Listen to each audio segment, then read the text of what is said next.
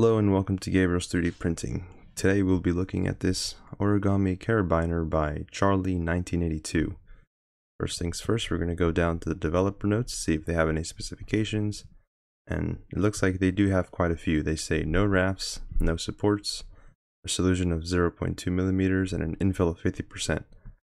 They'll also add some notes where they specify a shell loop of 3. And we'll go more into depth on what exactly that means. But for now, the next step will be to download all files. And once you do, you're going to have two STLs. Now, this model needs to be assembled, so you will need to print off both of these files in order to make the functioning model. Now, luckily you will not need any glue or adhesive to connect these two. They will connect on their own via their own uh, individual mechanisms. So let's click and drag to select both and throw them both into your slicer of choice. Once the model's finished loading in, make sure you do have two pieces rather than just one. If you do have one missing, try to add the other one at the same time to see if that uh, brings both of them in. So the first thing I want to do is move both of these to the middle because it looks like they're a little skewed to the left. So to do that, all I have to do is click on one of them, then click on this red arrow and drag it and it doesn't have to be perfectly in the middle, but just put it somewhere near the middle. Next, we're going to select the layer height. The recommendation was 0.2 millimeters, so we're going to click on the 0.2. If this pops up, simply click on discard. Next, shell. The developer set a shell loop of three. That basically means how many lines do we do before we reach the outer model to the infill. So in order to change that, simply go to this wall line count under shell and change it to 3. It might already be at 3, mine was at 2, but whatever it is, just change it to 3. Next, we're going to go to infill, which is right below it.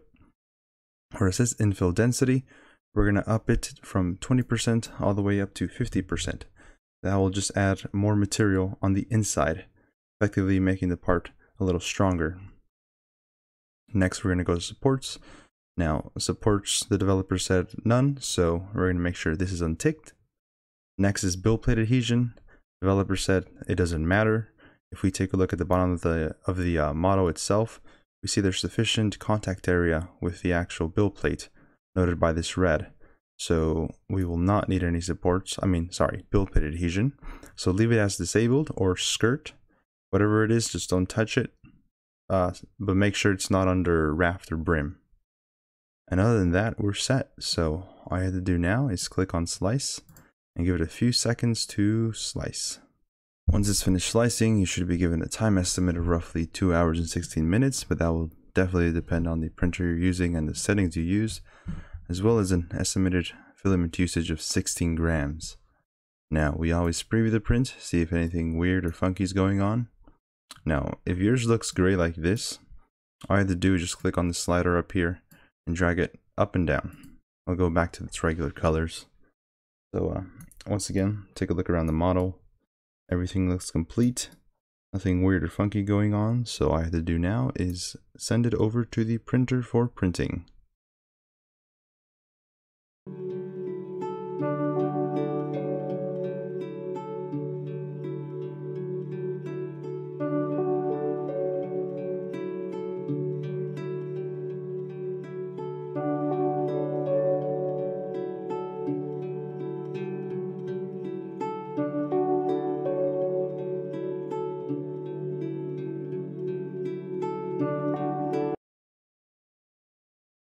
Here's the model straight off the print bed. The only thing worth noticing is that the model is actually 9.5 centimeters long, which is pretty big. The assembly is not too difficult. All you have to do is make sure that both the logo and the text are facing upwards when you start. Next, you're going to place the smaller part's shaft into the bigger part's hole. Now this may take a little bit of force, but it can definitely squeeze in there. Finally, you push both parts together until it snaps and then you are finished. The carabiner does feel pretty strong and stiff, and the developer does claim that it should be able to support 15 to 35 kilograms or 33 to 77 pounds.